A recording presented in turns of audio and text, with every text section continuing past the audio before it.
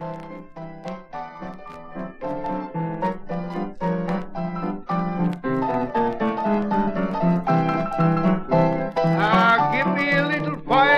oh, Professor, please. I would like to speak a few words on temperance. That's fine. Keep it down there. Ladies and gentlemen, down with rum. Ever since the beginning of time, there has been a drink problem. Quite a problem. Even a greater problem now. It's so scarce. Throughout the Middle Ages, the use of liquor was universal, and drunkenness was so common it was unnoticed. They called it the Middle Ages because no one was able to walk home unless they were between two other fellows. I was usually the middle guy. But through the years, enlightenment came, and with it the control of spiritus frumenti. And controlling spiritus frumenti is tougher than tying a hair ribbon on a bolt of lightning. That's a good simile. The first instance of federal authority in this country was when George Washington put down the Whiskey Rebellion in Pennsylvania. I imagine George put down a little of the vile stuff, too. there was a fellow that really lived. What a guy, what a man. Now, before I go any further, please do not labor under the misconception that I always have been a teetotaler. No. In my younger days, I was prone to take a nip. I chortle now with the former weakness in my otherwise strong character. But how well I remember my first encounter with a devil's brew. Devil's brew. Happened across a case of bourbon, and I went right on stumbling for several days thereafter. Of course, now I touch nothing stronger than buttermilk. 90 proof buttermilk. I look on my days of revelry with scorn and reproachment, and shudder when I recall going to the corner saloon, tugging at my daddy's coattails, and saying, Father, dear father, come home with me now, and bring a jug with you. However, I came from a very illustrious family. My great grandfather was a friend of Benjamin Franklin's. In fact, my great grandfather would have discovered electricity, but he was too poor to buy a kite. He had to go out and hire one. I have a picture of him at home, standing in front of the town tavern. He was hiring a kite, much higher. Wonderful man, grandfather. They called him the atomic bomb. Bomb, B-U-M, bomb. Now many of you are giggling and scoffing and saying that I have given up strong drink only because the stuff is so hard to get nowadays. But you are in error. My basement is loaded, as I uh, uh, was. Um, uh, friends, my heart bleeds when I think that right at this moment, throughout our fair land, thousands of misguided souls are hitting the bottle. Yes, they are consuming rivers of highballs, lakes of cocktails, and oceans of distilled damnation. I think I'll slip on my bathing suit. Yes, liquid death and distilled damnation. That's what they are a swillin' and a guzzlin'. A pickpocket I once converted told me they have a school in Chicago. Ill. Hill, short for Illinois. A pocket picking school.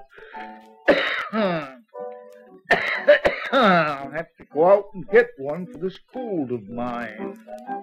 And the beginning rule they teach is no stimulants. They have to keep their heads clear and their fingers nimble. My friends, you set a bucket of beer in front of a pig, and he'll grunt and walk away. So should you. Or would you rather be a duck? Remember, the joys of alcohol are fleeting, and the toll is terrible. Back in my rummy days, I would tremble and shake for hours upon a rising. It was the only exercise I ever got. A man who overindulges lives in a dream. He becomes conceited. He thinks the whole world revolves around him. And it usually does. So, friends, my advice to you is to abstain. Break all the bottles in your possession. Now, don't say you can't swear off drinking. It's easy. I've done it a thousand times. One must be careful in making resolutions, particularly New Year's resolutions. The trouble lies in the fact that most of us are inclined to put off resolutions until 11 a.m. New Year's morning. This is a bad time to think of reform. Remorse runs rampant at such times, and we're liable to consign ourselves to all sorts of extravagant penances, such as hieing ourselves to monasteries in Tibet or Afghanistan, or to spending our remaining days in Azusa, Cucamonga, or Lompoc. I myself was a victim of the 11 a.m. menace several years ago.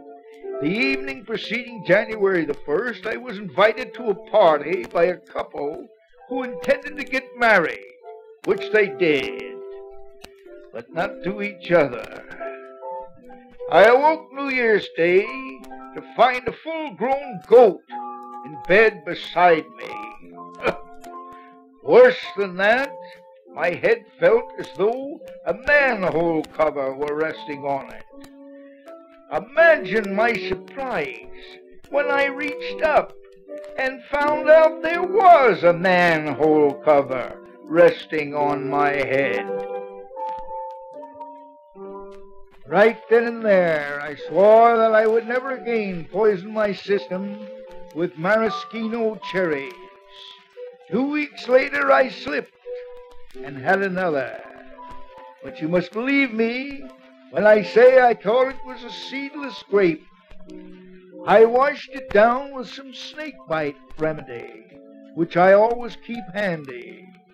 Only, however, after first being bitten by a snake, which I also keep handy. Those who overindulge in strong drink always have serpents handy. In fact, some helpless souls are burdened with them as constant companions.